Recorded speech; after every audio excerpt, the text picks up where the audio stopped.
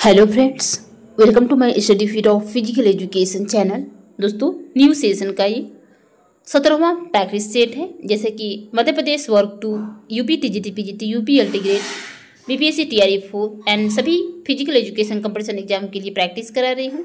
Theory session देखना है तो आप चैनल के प्लेलिस्ट में जाइए, सभी थ्योरी चैप्टर वाइज बताया गया है। और जो भी छूटे हुए हैं, मैं उसको ज़रूर पूरा करूँगी। और डेली बेसिस पे मैं आपको प्रीवियस ईयर में जितने क्वेश्चन पूछे गए हैं, चाहे वो घटना चक्र से हो, अन्य प्रैक्टिस सेट से मैं करवा रही हूँ। और आप सबका डिमांड है कि जो यूथ कंपटीशन है, उसका भी प्रैक्टिस कराइए तो इसको पूरा होते ही मैं यूथ कंपटीशन का भी कराऊँगी। तो चलते हैं आज के क्वेश्चन की तरफ़। क्वेश्चन है ओलंपिक खेलों में महिलाओं की प्रतियोगिता को स्वीकार किया गया था। तो दोस्तों, महिलाओं ने सर्वप्रथम ओलंपिक में भाग लिया था 1900 पेरिस ओलंपिक में। 1900 पेरिस ओलंपिक में यह दूसरे ओलंपिक था जिसे महिलाओं ने भागीदारी शुरू की। और प्रथम आधुनिक ओलंपिक खेल अठारह में ईरान के एथेंस स्थान पर पेनाथेनिक स्टेडियम में शुरू हुआ था। क्वेश्चन नंबर टू है, वॉलीबॉल में लिबरो खिलाड़ी का क्या नहीं कर सकता? What can a libero player not do in volleyball तो दोस्तों, जो लिबरो खिलाड़ी होता है, वह नहीं ब्लॉक कर सकता है, न सर्विस कर सकता है, न कप्तानी कर सकता है। उपरोक्त सभी नहीं कर सकता। वह केवल पीछे की पंक्ति का विशेष रक्षात्मक खिलाड़ी होता है। वह बॉल को आक्रमण क्षेत्र से स्मैश नहीं कर सकता। उसकी यूनिफॉर्म भी बाकी खिलाड़ियों से अलग होती है। वह रोटेशन में भाग नहीं ले सकता। वह कहीं से भी आक्रामक क्रिया नहीं कर सकता। चाहे वह कोर्ट में हो या फ्री जोन में, यह खिलाड़ी न सर्विस कर सकता है, न ब्लॉक में भाग ले सकता है, तथा न ही आगे के खेल क्षेत्र में स्मैश हेतु गेंद तैयार कर सकता है। क्वेश्चन नंबर थ्री है मानव के मोटापे का मुख्य कारण है। तो दोस्तों, मानव के मोटापे का मुख्य कारण होता है वसीय उत्तक की वृद्धि, यानी फैटी टिश्यू की ग्रोथ क्वेश्चन नंबर फोर है बैडमिंटन कोर्ट की लंबाई, चौड़ाई कितनी होती है? What is the length and width of a badminton court तो बैडमिंटन कोर्ट की लंबाई, चौड़ाई जो है, चौवालीस गुड़े बीस फिट होती है। डबल्स के लिए एंड एकल कोट चौवालीस गुड़े सत्रह फीट होती है, यानी चौड़ाई जो है तीन फीट कम होती है।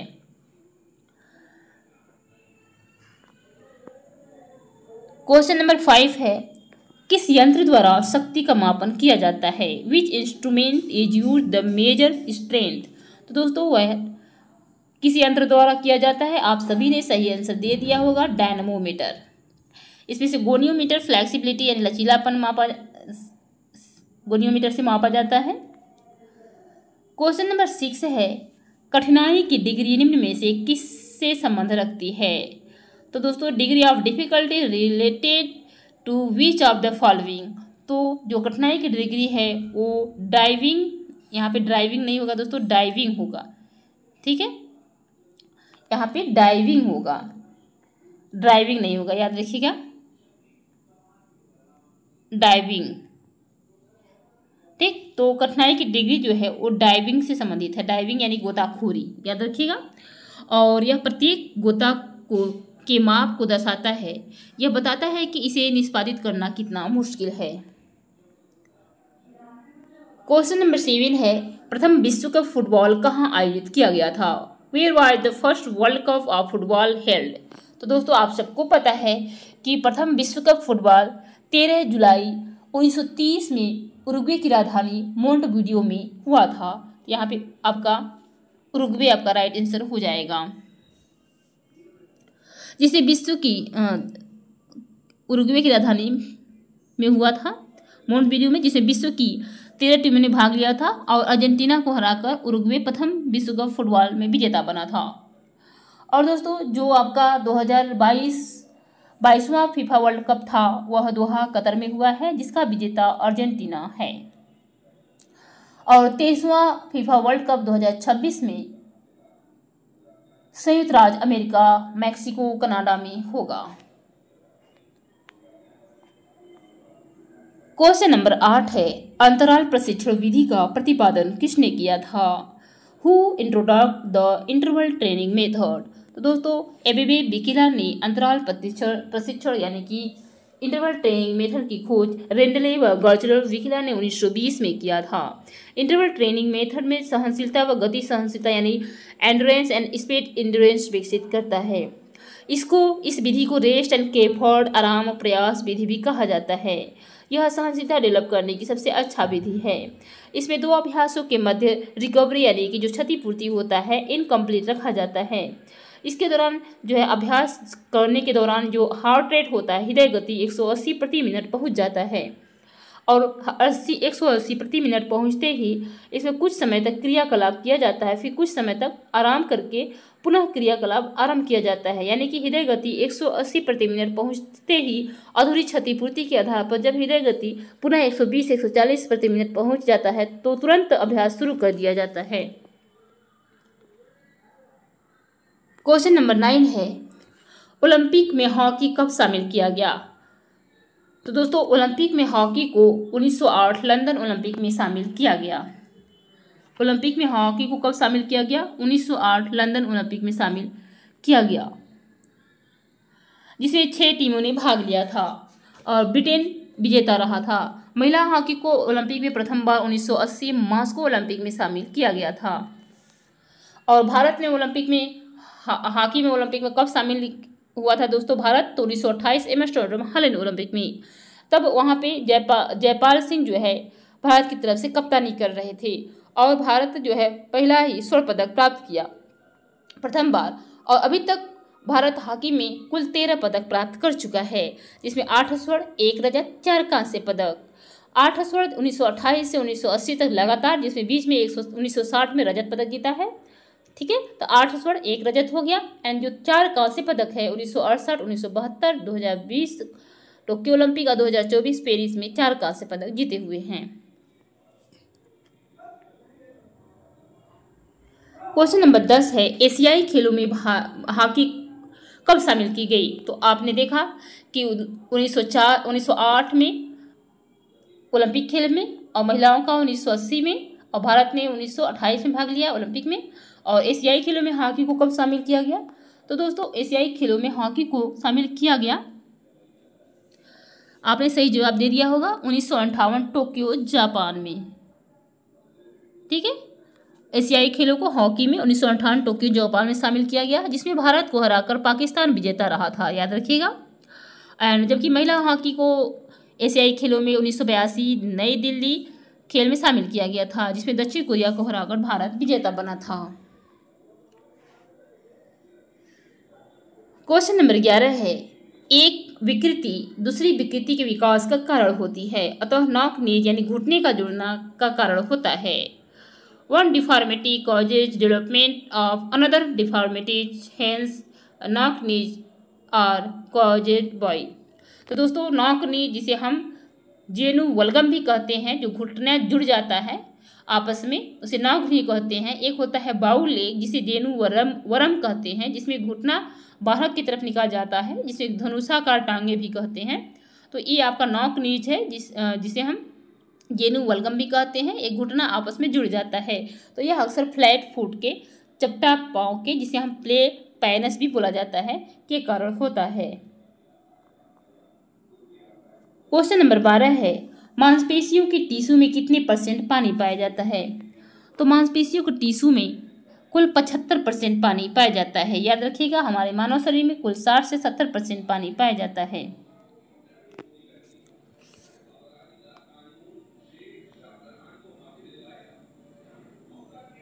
क्वेश्चन नंबर तेरह है, जब मांसपेशी कमज़ोर, छोटी और शक्ति में कम हो जाती है तो उसे हम कहते हैं when muscles become weak small and loss strength as it called तो दोस्तों, मैं आपको हर वीडियो में बताई हूँ कि जब नियमित व्यायाम के कारण मांसपेशियों में ताकत में वृद्धि होती है, आकार में वृद्धि होती है तो उसे हम हाइपरट्रॉफी कहते हैं। लेकिन इसके विपरीत, जब व्यायाम के अभाव के कारण या किसी अनुवांशिकता के कारण मांसपेशियाँ कमज़ोर, छोटी और शक्ति में कम होती है तो उसे हम और ट्रॉफी या डिस्ट्रॉफी कहते हैं। यहाँ पे और ट्रॉफी आपका राइट आंसर होगा। क्वेश्चन नंबर चौदह है, मालिश का शरीर पर क्या प्रभाव पड़ता है?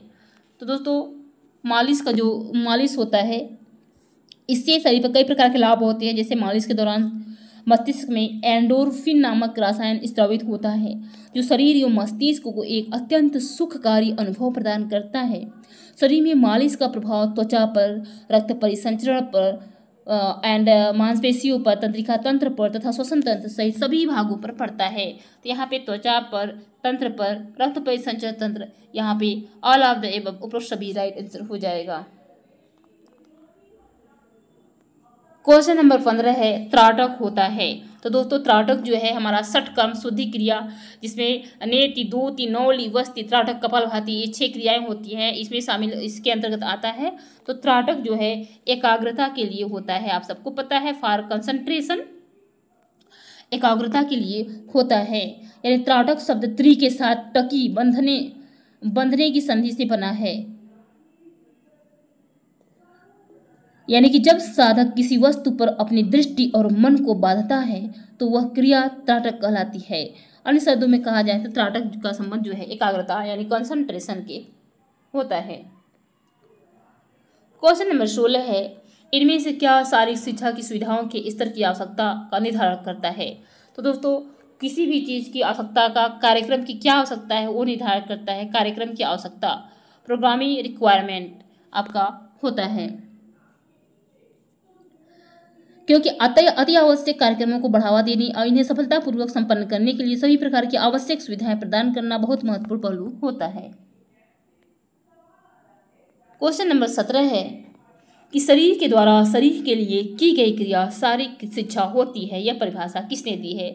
Physical education is defined as a activity done by the body for the body तो दोस्तों, इस परिभाषा को फ़ेमस परिभाषा है। आपने सही आंसर दे दिया होगा। ये परिभाषा है जे बी थॉमस का। जेपी थॉमस का।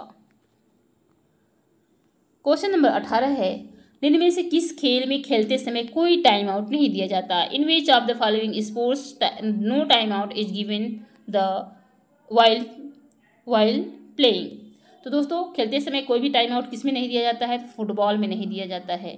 ठीक है, आपको पता है कि वॉलीबॉल में प्रत्येक टीम को दो टाइम आउट तीस तीस सेकेंड का दिया जाता है, जबकि बास्केटबॉल में प्रत्येक पारी में एक टाइम आउट एक मिनट का दिया जाता है। क्वेश्चन नंबर उन्नीस है, जर्मन खेल का नाम बताइए, जिस पर आधुनिक बास्केटबॉल आधारित है। तो दोस्तों, आप सबको पता है, वो है आपका खेल कॉर्फ बॉल जो है कॉर्फ बॉल सर्वप्रथम अठारह सौ छियानवे में अगस्त हरमन द्वारा लाया गया था। क्वेश्चन नंबर बीस है स्टेडियम जो इरविन एम्फी थिएटर के नाम से जाना जाता है। इस क्वेश्चन का आंसर भी आपने सही दे दिया होगा। कई बार दोहराया गया क्वेश्चन है। यह राष्ट्रीय स्टेडियम दिल्ली है। राष्ट्रीय स्टेडियम दिल्ली है। नेशनल स्टेडियम दिल्ली, जो इरविन एम्फी थिएटर के नाम से जाना जाता है। राष्ट्रीय स्टेडियम की स्थापना 1933 में किया गया था, जिसका अब नया नाम मेजर ध्यानचंद स्टेडियम हो गया है। याद रखिएगा, major Dhyan Chand stadium. Question number 21 है। माइकल फरेरा का नाम किस खेल से जुड़ा है? दोस्तों, आप सबको पता है कि माइकल फरेरा का नाम जो है, वो बिलियर्ड्स खेल से जुड़ा हुआ है। क्वेश्चन नंबर बाईस है, राष्ट्रीय महिला खेल उत्सव किस वर्ष प्रारंभ किया गया था? In which year was national women sports festival started? तो दोस्तों, राष्ट्रीय महिला खेल उत्सव जो है 1975 से स्टार्ट है। क्वेश्चन नंबर तेईस है, रंगा स्वामी कप किस खेल में प्रदान किया जाता है? तो आप सबको पता है दोस्तों, रंगा स्वामी कप पुरुष हॉकी में प्रदान किया जाता है, जबकि लेडी रतन टाटा कप महिला हॉकी में प्रदान किया जाता है। क्वेश्चन नंबर चौबीस है, क्यू शब्द किस खेल से संबंधित है? तो दोस्तों, दो चीज़ों में आप हमेशा कंफ्यूज होते हैं, क्यू और कैरी। तो क्यू शब्द जो है बिलियर से संबंधित है। ठीक है? क्यू शब्द बिलियर्ड से संबंधित है, जबकि कैडी जो है, गोल्फ से संबंधित है। क्वेश्चन नंबर पच्चीस है, डोपिंग परीक्षण के लिए किसका नमूना लिया जाता है? What sample is taken for doping test तो डोपिंग परीक्षण के लिए यूरिन और रक्त दोनों का परीक्षण लिया जाता है। ए और टी दोनों सही है। पहले तो यूरिन का परीक्षण लिया जाता है, जब उससे कोई सेटिस्फेक्शन नहीं मिलता है तो रक्त का भी परीक्षण लिया जाता है। यह परीक्षण जो है world anti doping agency?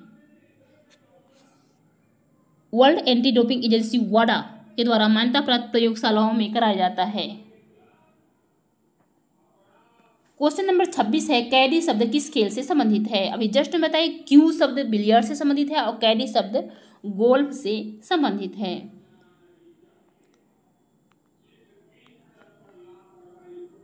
Question number सत्ताईस है किस भारतीय ने प्रथम ग्रैंड स्लैम की उपाधि जीती है? Which Indian won the first grand slam title तो दोस्तों, सबसे पहले ग्रैंड स्लैम टेनिस में जीता हुआ है, वो है महेश भूपति। कौन है? महेश भूपति।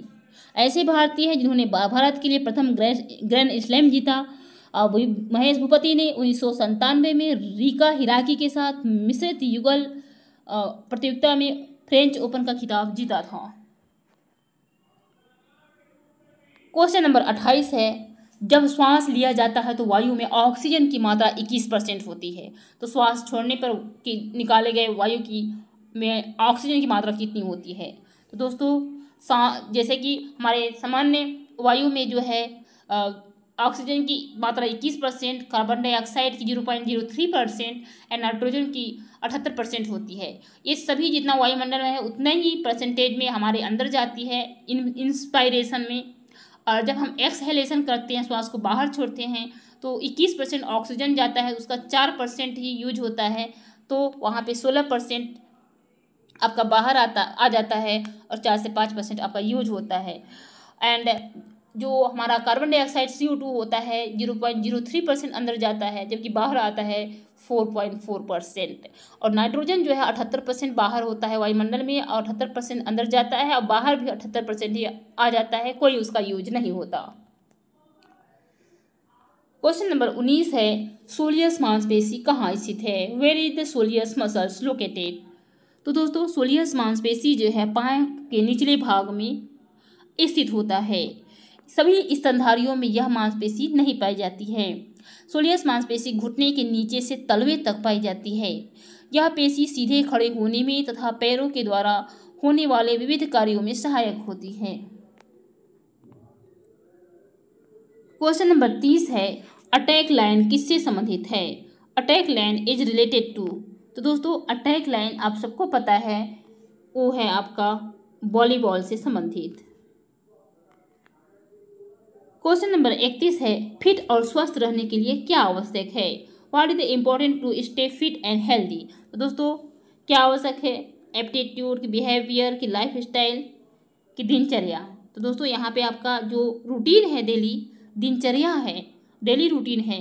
जैसे कि आपको पता भी है कि फिटनेस की परिभाषा भी है कि daily routine work without any fatigue यानी डेली के कार्यों को बिना थके जो संपन्न किया जाए और आपातकाल के लिए अतिरिक्त ऊर्जा ही बची रहे, उसे हम कहते हैं फिटनेस तो फिट और स्वस्थ रहने के लिए अपना, आपका दिनचर्या यानी डेली रूटीन कैसी है, वह आपका अच्छा होना चाहिए। अब डेली रूटीन यहाँ पे नहीं दिया रहेगा तो लाइफ स्टाइल भी आपका राइट आंसर हो जाएगा। लेकिन यहाँ पे डेली रूटीन आपका राइट आंसर होगा। यानी कि प्रति क्या व्यक्ति प्रतिदिन किस प्रकार और कितना सोता जागता है, कितना व्यायाम करता है, सारी क्रियाएँ करता है तथा कब और क्या भोजन लेता है आदि बातें स्वास्थ्य को उत्तम बनाए रखने के लिए बहुत महत्वपूर्ण होती हैं। क्वेश्चन नंबर बत्तीस है खेल कूद में चोट कैसे लगती है? तो दोस्तों खेल कूद में चोट जो है पर्याप्त प्रशिक्षण का अभाव होता है, तकनीक और उपकरण के अभाव होता है तो भी होता है, जानकारी की कमी है और लापरवाही है। तो यहाँ पे तो नहीं है दोस्तों, यहाँ अपर्याप्त है, ठीक है? यहाँ पे अ आपका देख लीजिएगा, ठीक है? अपर्याप्त। तो यहाँ पे ऑल ऑफ़ द एबव उपरोक्त सभी आपका राइट आंसर होगा। जैसे कि चोट आपका वार्म अप न करने से भी आपका होता है, सही ढंग से वार्म अप न करने से मांसपेशी जकड़न होती है, जिससे चोट लग जाती है। क्वेश्चन नंबर तैंतीस है, शारीरिक शिक्षा की ज़रूरत है। तो दोस्तों, जैसे कि आप जानते हैं, शारीरिक शिक्षा फ़िज़िकल मेंटल सोशल स्पिरिचुअल सभी रूप से व्यक्ति का विकास करता है, यानी कि मनुष्य का संपूर्ण सर्वांगीण विकास करता है, शारीरिक विकास के लिए, मानसिक विकास के लिए, संवेगात्मक विकास के लिए, उपरोक्त सभी के लिए शारीरिक शिक्षा की ज़रूरत है। यानी physical development mental development emotional development all of the above question number चौंतीस है निम्न में से किस खिलाड़ी ने ओलंपिक खेल के फाइनल में चौथा स्थान प्राप्त किया था? तो दोस्तों, जैसा कि आप जानते हैं, ओलंपिक खेल के फाइनल में क्वालिफाई करने वाले तीन खिलाड़ी थे। सबसे पहले कौन थे वो? जैसे कि मिल्खा सिंह, श्रीराम सिंह पीटी ऊषा। लेकिन चौथा स्थान प्राप्त करने वाले 1960 के रोम ओलंपिक में 400 मीटर दौड़ के के फाइनल में चौथा स्थान प्राप्त किया था मिल्खा सिंह, जिसे फ्लाइंग सिख कहा जाता है। और मिल्खा सिंह श्री राम सिंह, पीटी उषा, तीनों ने ओलंपिक खेलों में विभिन्न ट्रैक और क्षेत्रीय खेलों में फाइनल के लिए क्वालिफाई किया था, लेकिन चौथा स्थान प्राप्त किया था मिल्खा सिंह ने। क्वेश्चन नंबर पैंतीस है, वह कौन सा विश्वविद्यालय है जिसमें सबसे अधिक बार मौका ट्रॉफी जीता है? तो दोस्तों, आपको पता है जो मौका ट्रॉफी है, वो प्रत्येक वर्ष सर्वश्रेष्ठ विश्वविद्यालय को दिया जाता है। यानी पिछले एक साल में अंतर विश्वविद्यालय टूर्नामेंट में उत्कृष्ट प्रदर्शन करने वाले विश्वविद्यालय को दिया जाता है, जिसे पंद्रह लाख धनराशि दिया जाता है। मौका ट्रॉफी यानी कि मौलाना अबुल कलाम आज़ाद ट्रॉफी की शुरुआत उन्नीस सौ में किया गया, जो भारत का सबसे पुराना राष्ट्रीय खेल पुरस्कार है। इसमें पंद्रह लाख धनराशि दिया जाता है। प्रथम विजेता बॉम्बे यूनिवर्सिटी था और अभी तक में सबसे ज़्यादा गुरु नानक देव विश्वविद्यालय अमृतसर, पंजाब जो है, सबसे ज़्यादा बार माँ का ट्रॉफी जीता हुआ है। 2023 तक में कुल 24 बार जीत चुका है। याद रखिएगा। तो ये था आज के सेशन का 35 क्वेश्चन आई होप कि आपको सभी क्वेश्चन समझ में आए होंगे। और जो भी डाउट होगा कमेंट में ज़रूर बताइए। और ज़्यादा से ज़्यादा वीडियो को शेयर भी कीजिए, जिससे और लोगों तक वीडियो पहुँच सके। तो मिलते हैं नेक्स्ट वीडियो प्रैक्टिस में। तब तक के लिए जय हिंद।